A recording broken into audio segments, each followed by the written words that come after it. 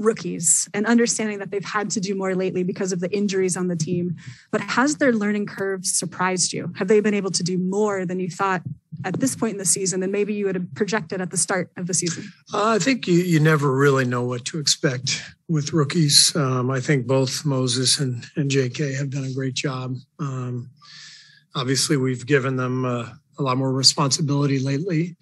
Um, some of it uh, be, because of injury, some of it because they've earned uh, more minutes. And um, so they're both doing a great job and um, really excited about uh, what they've done this year and what they're capable of doing in the future. Do you have uh, any updates kind of on on some, you know, Gary, uh, Andre, and Otto? I know they're all out. Just maybe their statuses. Otto just scrimmaged downstairs. He's feeling a lot better. He had a, a pretty rough go for a few days. Uh, just um, you know, seasonal illness, um, but he's doing better, and um, I expect him to play on Monday. Gary did not scrimmage. Um, I have not talked with Andre, so I'm not sure where where things are with him right now do you have? I mean, I know you, there's nothing structurally wrong with Gary. Is he getting better? Is he nearing court action potentially? Uh, just day to day. So we're we're waiting until uh, he, everything clears up before he starts scrimmaging again, and then he'll need some court time before he's ready to play. Will you will you come uh, tomorrow and and catch James playing here? Oh yeah, yeah, yeah, that'll I'll, be. I'll be here. Won't yeah. that be a fun atmosphere for yeah, him? I'm excited for him. I was so happy uh, to see him the other night. I watched uh, the tape and he just looked happy, looked looked like he was excited and moving well. And it's been a long 11 months for him. So thrilled for James that he's back out on the floor. He deserves it.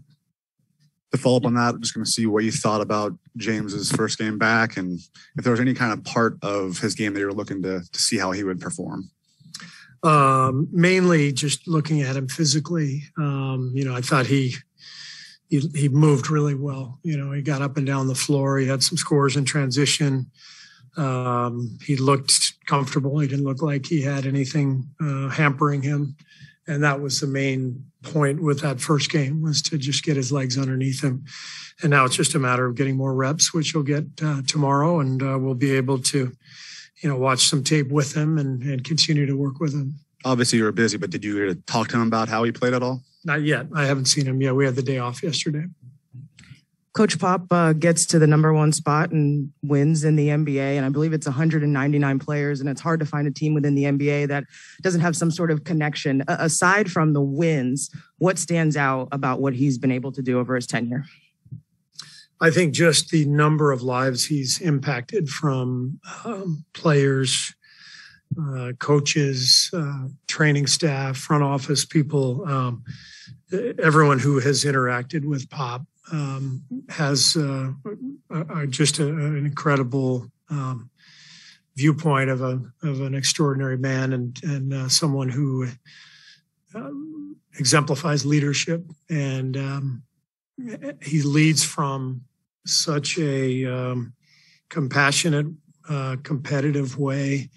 Um, he he's all about the relationships with the people around him, all about the work, but you know, the the collaboration that goes into it, and you feel that um, when you're playing for him, you still feel it. You know, 20 years later, you, it, it stays with you because that's how how special being a part of his program was and continues to be in the NBA, there's so much talent. It's hard to cover everything at times defensively against this Bucks team what are you willing either to give up or not give up? So like what's the one thing you're you're telling the guys like, hey, the Bucks may do this, but make sure they don't do this? It all starts with transition. You know, if you let them beat you over the top, or if you let Giannis go coast to coast and dunk the ball, uh, then you're in big trouble. So it has to start with transition. We've got to be smart with our uh, decision making offensively. Um, the other night in Denver, we did a great job taking care of the ball, but we took a lot of bad shots, and um, you know some of those shots led to to fast break opportunities, and so we've got to be not only smart with the ball, but with our decision making, um, our decisions when to crash the offensive board, when to get back. We've got to recognize floor balance. all of that stuff. And um, if we can get back and get them into into the half court more often than not, um, then uh, then that's our best chance to to win the game. Steve, I, know you can't do much about how a player shoots his free throws. Obviously, Andrew's free throws are way off uh, and, getting worse. Uh, what can you do? What have you said? What can he do? And at some point, do you have to think about not, you know, having him at crunch time if he's going to shoot at, at, at this percentage? Uh, I have talked to him. I think uh, the most important thing um, that uh, that I shared with him is that this happens to everybody. You know, it it, it um, okay, maybe not Steph, but it happens to just about everybody else. And um, happened to me, you know, during my career. I was a good foul shooter, and there were times where, you know, it just got into my head, and I shied away from, um, you know, get going to the foul line at key spots. And I'm not afraid to admit it. It's this this game can mess with you, and uh, the most important thing that um, that he can do is to attack and be aggressive. And I think you you have to confront this stuff head on. And, and um, the best example is right down the hall. You know, Giannis last year in the playoffs was going through all those struggles, and um, he just continued to attack and go to the line. And he, eventually, I think, in that final game, he made like 16 out of 19, whatever it was. Um, but you have to. The only way to to uh, to get past it is to be more aggressive rather than cautious. You know, as soon as you get cautious and you're avoiding the free throw, now now your whole game is affected. So uh, th- those are the those are the thoughts that I have for anybody who's struggling um, from the foul line.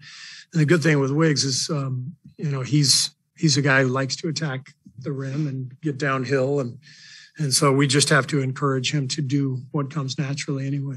Was it recently? I mean, last few days you had this conversation with him. Yeah, in the last week. In the last week. So um, he knows. I mean, it's just you know everything that these guys go through is is uh, is public, and that's what makes it difficult. Um, you know, he's a really conscientious guy. He cares about his teammates and and his team, and he wants so badly to do well. And I think he's, um, you know, he's just trying too hard right now.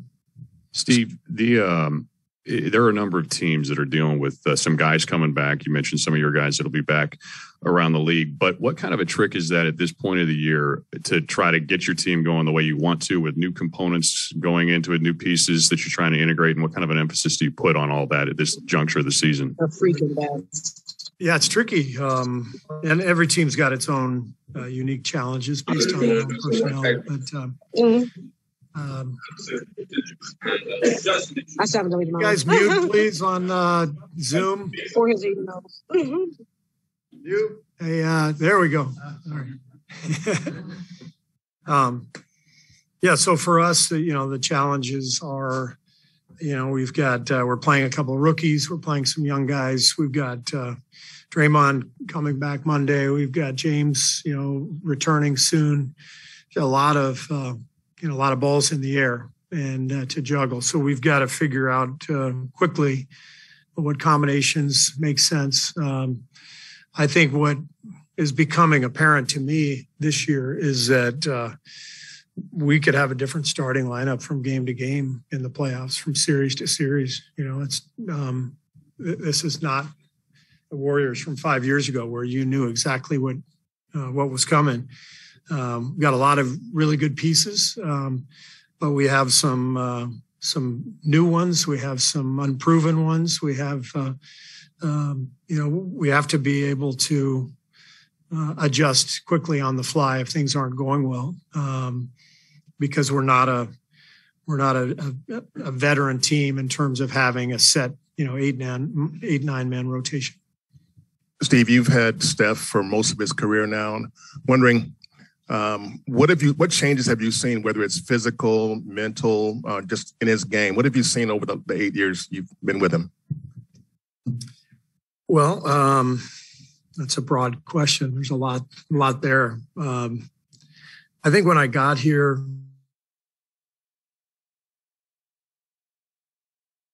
um, aggressive, shall we say, and um,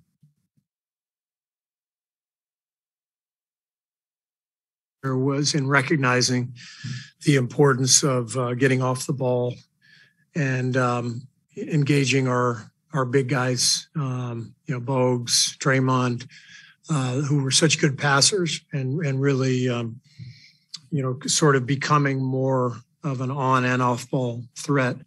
It balanced our team out, and it also put the ball in the hands of some guys who are really well suited to uh, to make decisions and control a game. Guys like Andre and, and Draymond. So that was the, the, the real challenge the first year, and uh, since then it's just been a, a steady uh, maturity and growth. He's just gotten better and better. His work ethic has become more and more refined. He's gotten um, better off the floor in the weight room and the training room. Just his diligence and preparing his and maintaining his body.